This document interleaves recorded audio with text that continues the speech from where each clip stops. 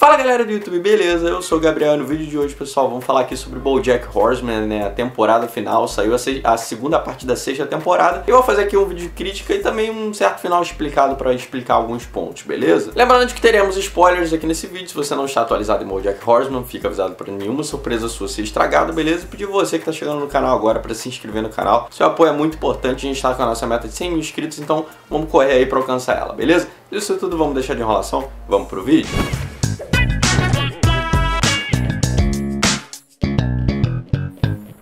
Bom, a gente vê que na primeira parte, né, aqueles repórteres, eles começam a pesquisar um pouco sobre o, a morte da Sarah Lynn e chegam lá no, no que aconteceu com a Penny no Novo México e eles conseguem fazer essa ligação toda com o BoJack fala, ó, seguinte, a gente vai jogar tudo na mídia, você nega as coisas. Ele até queria ser sincero e tal, só que a Princess Caroline vai, incentiva ele a mentir. A Diane tenta falar, não, cara, fala a verdade, é melhor, não sei o que. E de uma certa forma ele até confessa tudo, né, de uma forma show business, ele vai lá num programa de entrevista e fala, não, eu fiz isso sim, eu fiz isso sim. Só que ele meio que faz isso não por arrependimento, uma parte pequena por arrependimento e outra parte é só para limpar a barra dele. E essa primeira entrevista vai bem, as pessoas começam a se solidárias com ele, falando, pô, você passou por muita coisa, a gente te perdoa, não sei o que. Só que ele acaba gostando disso, porque a gente conhece o Bojack, sabe que o ego dele meio que clama ali por um certa uma necessidade de afirmação, né, de aceitação das pessoas. Aí o que, que ele faz? Ele marca outra entrevista, só que a repórter, né, meio que se sentiu enganada e aí ela joga ele contra a parede e aí, meu amigo, acabou o BoJack, cultura do cancelamento nele. O que eu achei que foi uma, algo interessante da série abordar nesses últimos episódios, que é justamente essa cultura do cancelamento, né? Pra quem não conhece, é basicamente, porra, a personalidade famosa fez merda, acabou a, a carreira dele, ele não merece nenhuma chance de redenção, vamos cancelar a pessoa. E um exemplo recente, digamos assim, eu usaria o Johnny Depp, o caso lá da Amber Heard, tá dando uma polêmica isso, é mais ou menos isso, que tá todo mundo metendo mal no Johnny Depp, Tá todo mundo metendo malha da Amber Heard e ninguém tá certo nessa história. A série não, não nega nem admite a cultura do cancelamento, né? Na verdade, ela simplesmente levanta uma reflexão, porque que assim, a gente entende que as pessoas erram, às vezes elas erram de uma forma muito brutal, às vezes elas erram de uma forma pequena, mas simplesmente cancelar a pessoa, deixá-la de lado e fingir que ela não existe, simplesmente julgá-la pelo resto da vida, é uma solução efetiva? É basicamente, pelo menos o que eu interpretei da série, eu acho que é a mensagem que ela quis passar nesses últimos episódios, né? Porque quando todo o caminho ali na entrevista é traçado de como o BoJack abusou do poder dele sobre as mulheres em volta dele, né? A gente tem a Diane, a Princess Caroline, a Holly Rock, a Penny, enfim, um monte de gente e basicamente ele acorda assim e ele fica, caraca, cara, o que que eu fiz?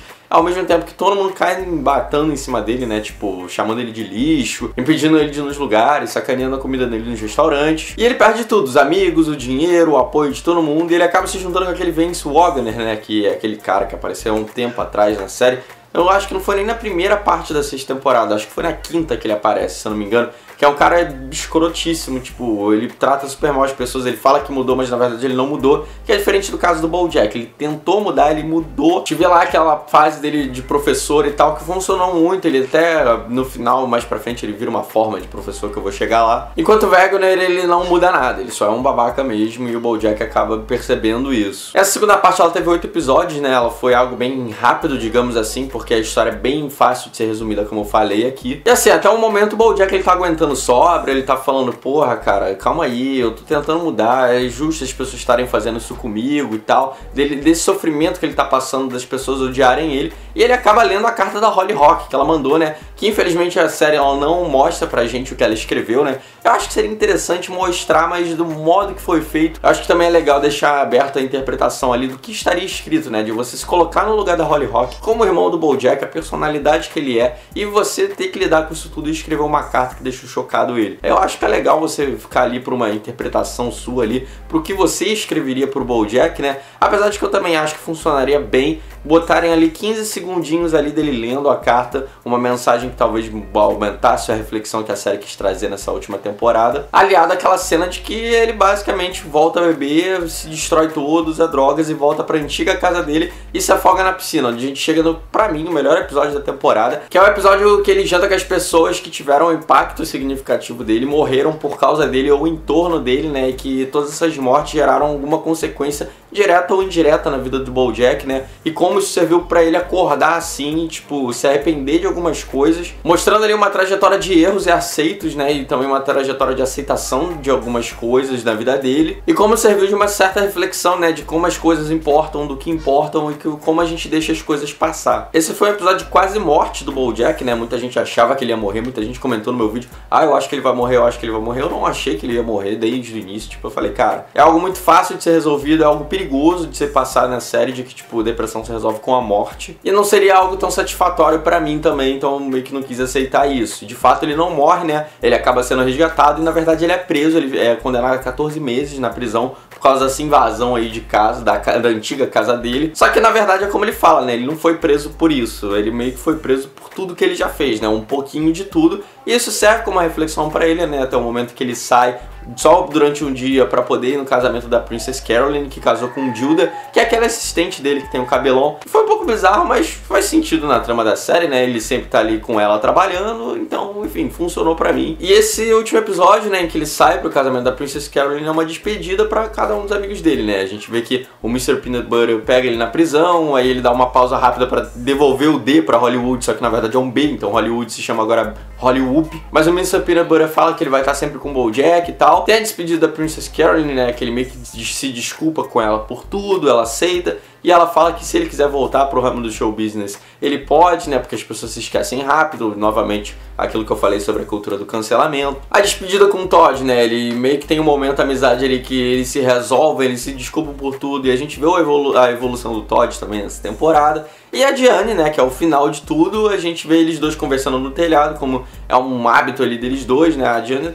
de certa forma, é a co-protagonista da série que é a contrapartida da depressão do BoJack, né? Enquanto a gente vê a Jane na depressão, mas lutando, o BoJack ele meio que acaba cedendo e a gente vê essas duas, esses dois contrastes durante a série. E termina com eles dois conversando, né? E com o BoJack falando de como às vezes a vida é ruim e a gente morre, e a Jane falando com como às vezes a vida é ruim, só que a gente sobrevive, né? Que é o que a gente vê os dois fazendo e os dois se despedindo, porque a Jane acaba ficando com o Guy, né? Aquele namorado dela, ela vai se mudar para Houston. E como o BoJack fala com ela, provavelmente é a última vez que os dois vão se ver e acaba para os dois olhando para um céu estrelado, né, com uma música de fundo chamada Mr. Blue tocando, que eu acho muito parecido com o final de Mad Men, que é uma das minhas séries favoritas e tem um final, de certa forma, parecido reflexivo para você você pensar, né? E os protagonistas, de certa forma, são muito parecidos porque os dois têm ali um certo poder sobre as mulheres que rodam a vida dele e destrói a vida das pessoas. E no final da série dos dois a gente vê o protagonista tendo uma conversa muito íntima, muito importante com uma mulher importante na vida deles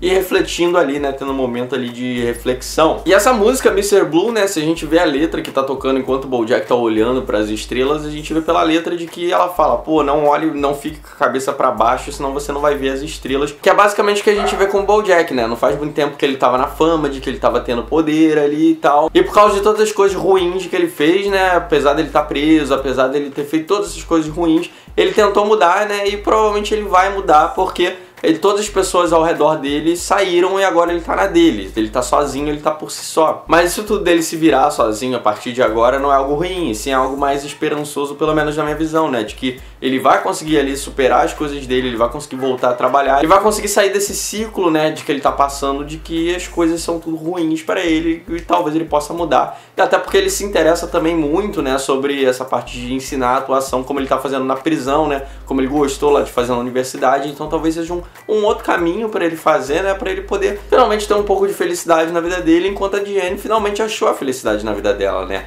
Ela passa a tomar aqueles antidepressivos, ela consegue fazer um livro do qual é, de início ela não gostou muito, mas depois ela aceitou e começou a fazer ele com prazer e achar um bom parceiro para ela. Então ele, todo mundo ali, de certa forma, atingiu a felicidade no final da série. A Princess Caroline casando e conseguindo conciliar com o trabalho e tendo a filha dela. O Todd conseguindo crescer na vida e conseguindo ser uma pessoa que se vire independente, né? O Mr. Peanut Butter meio que aprendeu a não ter que ficar casando com as pessoas ou ter alguém ali para ser um suporte emocional para ele. Ele aprendeu que ele mesmo basta. Então, como eu falei, é um final bem parecido com o de Mad Men, que é uma outra série que eu recomendo muito para vocês que gostam aí desse desenvolvimento de personagens. É um final que eu acho que passa uma mensagem legal que por mais que as coisas estejam ruins, elas podem melhorar mesmo que de pouquinho a pouquinho. Até porque eu acho que BoJack é muito importante para muitas pessoas, muitas pessoas talvez que passem por um momento difícil assistem a série. Então, se você passasse uma mensagem tipo, ah, BoJack vai morrer, a morte resolve tudo, seria um pouco perigoso. Então, eu gostei muito do final da série, eu gostei muito da série, eu acho que BoJack fez um trabalho sensacional. Por mais que ela tenha sido cancelada, eu não acho que duraria mais uma sétima temporada, porque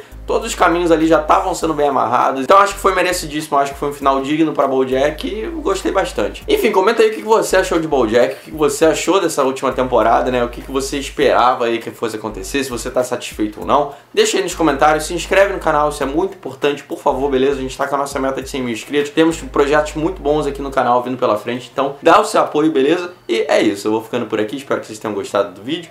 Valeu!